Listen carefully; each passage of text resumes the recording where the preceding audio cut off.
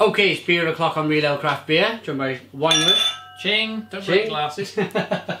Wineward Italy. Um, check him out on YouTube. You've got lots of Italian wine reviews there. Uh, this is a beer that was kindly brought to me to Cardiff um, by a gentleman in Finland by the name of Orkel. Uh, it's Stadin Imperial Porter and it's 9.5% ABV, it's 30 IBUs and it's 20.5.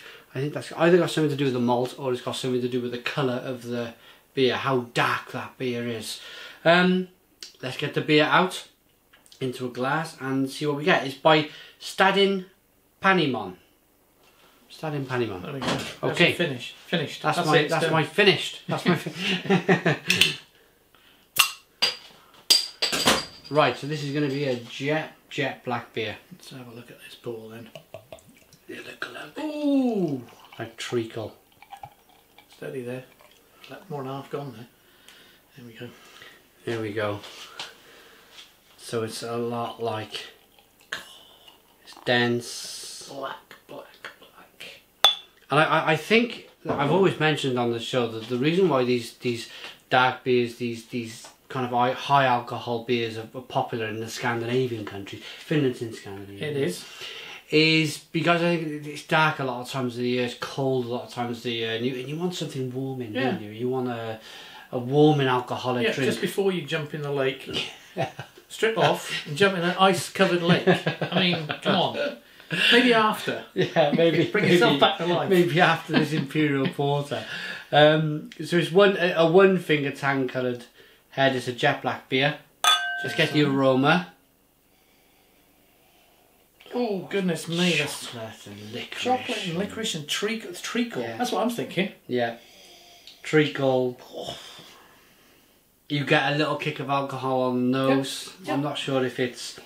I'm not sure if it's barrel aged where they actually they've actually made a stout and then they put it into uh, whiskey barrels and you and that whiskey seeps back into the beer. I'm not sure if it is. It certainly smells that way.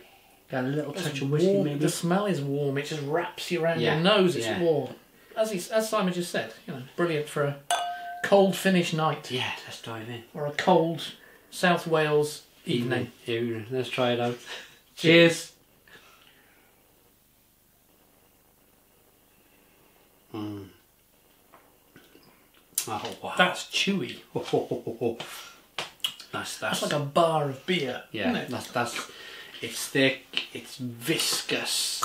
It's chewy. Like as as Robin said, it's chewy. It's alcohol. It, it, you've got a little that the alcohol's hidden well. It- It's not Yeah. like it's not like it's like that Carlsberg Elephant Lager where it's like you know it's like paint stripper. It, it, it's There's so much flavour there that Mm. it's not hidden. It's just not there. Mm. So what do you pick up? Do you pick up?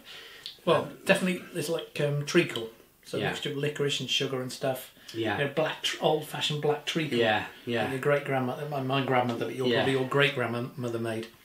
Um, and there's uh, there's a sort of woodiness there too. A Yeah. nice full, rich wood. So maybe it has been barrel aged or something. Barrel aged, yeah, yeah. It's the popular thing to do right now with beer, but um, there, there's a little bit of chocolate. There's a little bit of coffee in there. A little bit of espresso coffee from the malt that's coming through. Yeah, a little. Yeah, there's definitely. Yeah. Yes, there's like bitterness on the back end. That could be Mm. coffee like. But the mouthfeel is, I, I call this a medium mouthfeel. It's a mouthfeel that kind of gloops down your Yeah. throat rather than. And you can feel the warmth. yeah, you can feel the warmth Go in there. going Oh, down, and it's it's It's, It's lovely. It's a really nice beer. It's, it's the first three reviews, and I always leave an imperial stout or porter till last. The first three, three reviews are all about the, the big, the hoppy, uh, the punch, the excitement, and this beer they just always calm me down. Oh, they always they, they Surprised. pipe and slippers in front of the fire, middle of winter. He's just- older than he looks, isn't he? it just can't, yeah, absolutely. It just makes me uh, like a good glass of red wine would. It just Yeah. it just relaxes Yeah. you. Chills you out. Oh, Yeah. it's fine. I would Yeah. substitute a glass of red wine for this one. Mm. No problem. That's lovely. Um, I'm going to rate it.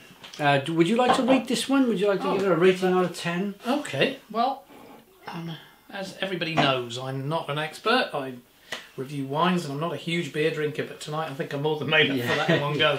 Um, but on a scale of one to ten, I'd be, I'd be popping that up there in the nine and a bit. Nine, nine and a bit, yeah, nine and a bit. I'm going to Yeah, join you on that. so a that's, a, that's a splendid drink. Uh, we've done uh, four beers in the space of uh, just over 45 minutes. Um, uh, check out the other reviews. We did the an IPA from Norway, Lind, Lindforden IPA. We did uh, a, a double IPA from Italy. Uh, that was called Too Late IPA by Brewfist. We did a seven shell uh, saison noir, which is also very good. So check out them reviews with with with, with Winewood. Um, nine out of ten. Thank you all for watching. Um, comment, please subscribe, and cheers. Oh, thank you to O'Cal for coming all the way to Cardiff and, and bringing me this beer. What a, what a guy! What a guy! What a guy. Come back soon. Yeah. Thank you. Oh, um, next week, if you want to check us out next week, very quickly, we're going to be doing uh, wine. Uh, Robin brought a bottle of a bottle of ale from Italy, so we'll get we'll get on and review that. So look at look at that review. Thanks for watching. Cheers. Cheers.